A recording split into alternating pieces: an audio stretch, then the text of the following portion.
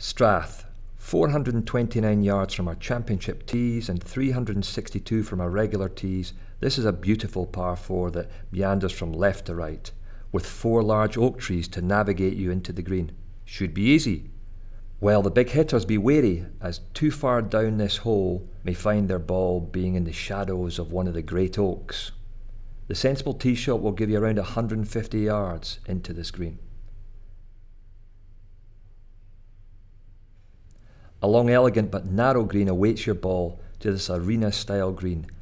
Bunker short left, bunker long right. Pick a good mark on the trees in the backdrop and pray for it to hold its line.